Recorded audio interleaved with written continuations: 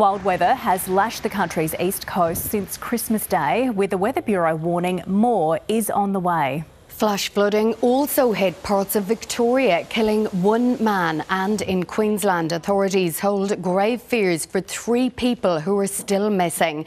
And on the Gold Coast, tens of thousands of people still remain without power. So let's go there now and bring in our reporter, Danielle Maher.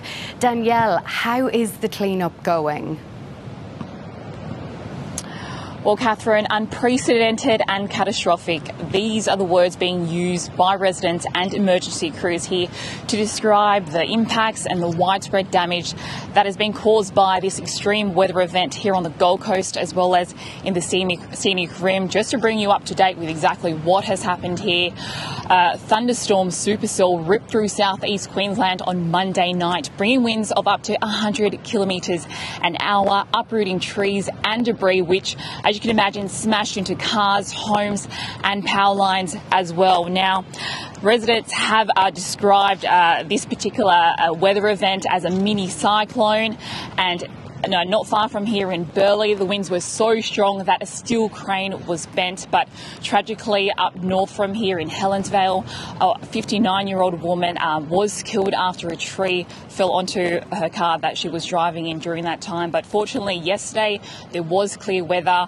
and so residents and emergency crews were able to quickly clean up the, the debris because some of them feared that more wild weather would have hit last night, but thankfully that didn't happen. So uh, we do expect those residents are already up this morning uh, cleaning up what is anticipated to be a mammoth cleanup effort, and also noting our theme parks here. Four of them had to be closed yesterday because of damage, but we do know that Movie World and Dreamworld have announced that they will reopen today.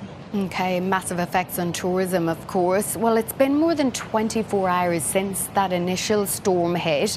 How many residents still don't have power?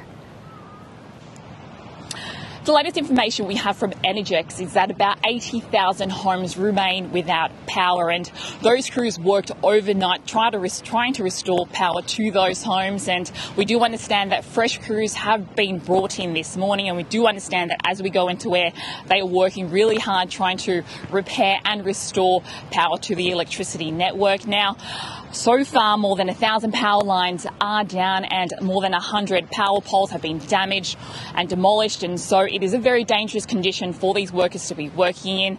And so the message is residents are being urged to stay vigilant as they are travelling in these areas.